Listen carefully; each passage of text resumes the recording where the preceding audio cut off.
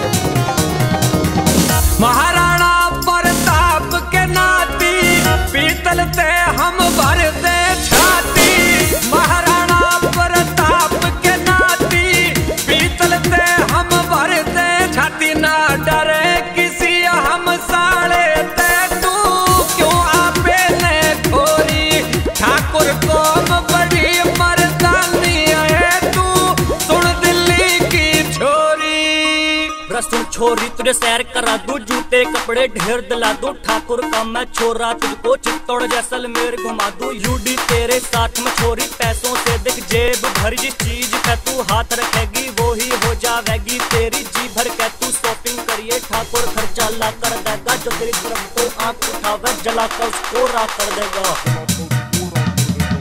attitude हम नहीं दिखावे